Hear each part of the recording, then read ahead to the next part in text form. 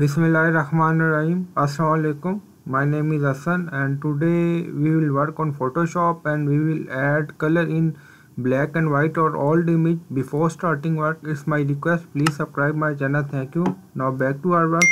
So on right side you see lock icon. So first unlock the layer image. Click on it.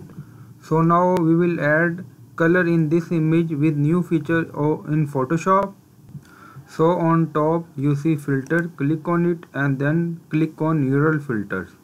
So again click on it and then neural filter is open and then you see this is image. And now here you see all filter and then colorize. So enable this. So now you see processing on device. We uh, enable this colorize filter.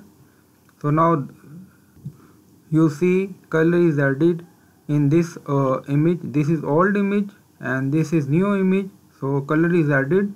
So also you can adjust color or you can use profile. Now click on it and then you see different profile here.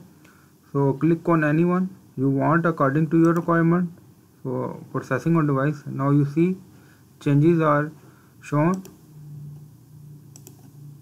With this new photoshop feature uh, color edit on black and white or old image is easy.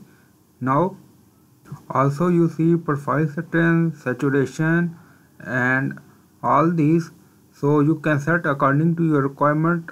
First disable auto color image and then you can uh, set according to your requirement. Yellow color reduction noise reduction you can do according to your requirement. Like here you see so again click on auto color image. So auto color just now you see.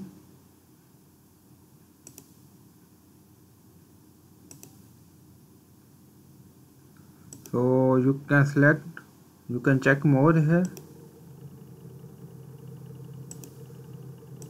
So you can select according to your requirement. So with photoshop new feature color add on black and white or old image is easy I hope you like this video. Please like, comment, share and subscribe. Thank you for watching.